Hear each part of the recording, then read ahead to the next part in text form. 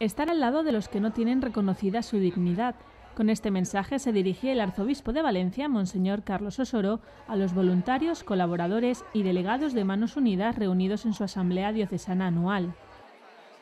Hay gente que no tiene reconocida su dignidad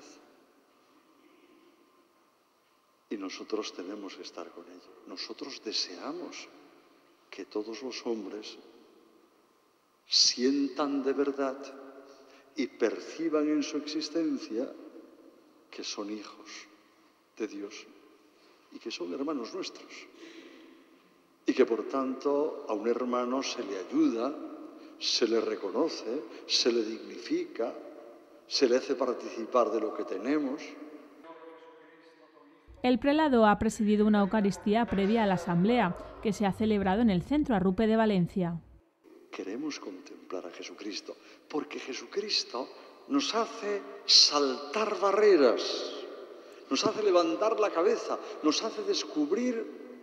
cuando le contemplamos a Él, a todos los hombres, es más,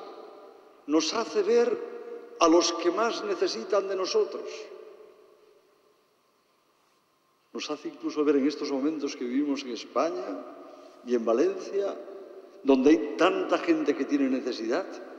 que a pesar de eso hay otros muchos más que tienen muchas más necesidades y que tampoco podemos nosotros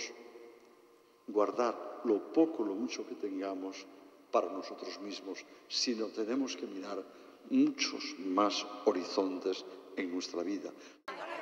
Ya en la Asamblea, el presidente delegado de Manos Unidas Valencia, Eladio Seco, ha explicado el programa de la nueva campaña de la entidad, que incluye 17 proyectos de desarrollo, dedicados a la promoción social, de la educación, de la sanidad, de la agricultura y de la mujer.